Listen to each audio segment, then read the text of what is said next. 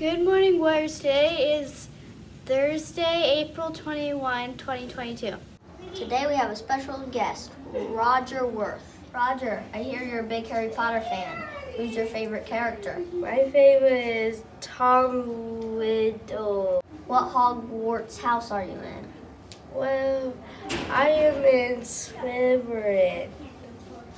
Roger's secret talent is that he can sing as high as the fat lady in Harry Potter. Let's hear it.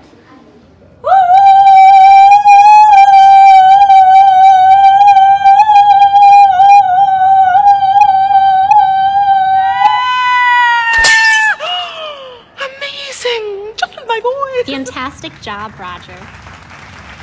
Did you know that there is a difference between a chrysalis? The main difference between a chrysalis and a cocoon is that chrysalis is a life stage while a cocoon is the actual casing around the caterpillar as it transforms. Chrysalis is the term used to refer to the stage during which the caterpillar transforms into the butterfly. Last night you read chapter 14. The trivia question for chapter 14 is What did Mr. Brisbane use to capture Humphrey?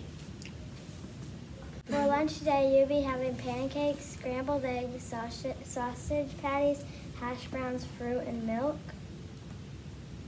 For the weather today, you can expect a high of 72 degrees with rain. Why did the pony get sent to his room? He wouldn't stop horsing around. Just like a bank account with deposit and withdrawals, you can accidentally make withdrawals on someone's emotional bank account. You might make a withdrawal by calling someone a mean name, not letting someone play with you, or hitting someone. At this time, would you please stand as we say the Pledge of Allegiance? pledge allegiance to the flag of the United States of America and to the republic for stands, one nation, under God, indivisible, with liberty and justice for all. Please remain standing for a moment of silence.